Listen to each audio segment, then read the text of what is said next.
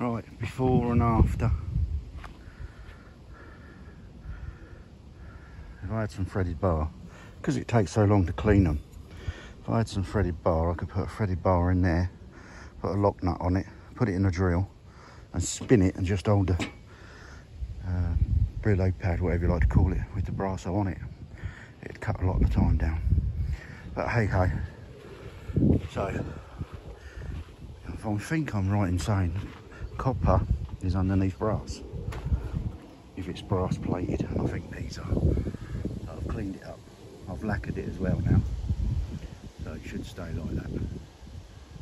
But there's not a lot of brass there, unless it's just copper, I don't know.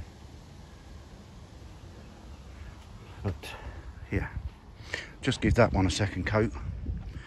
And I'll move on to the dirty one. So hard to film today because it's so sunny for a change.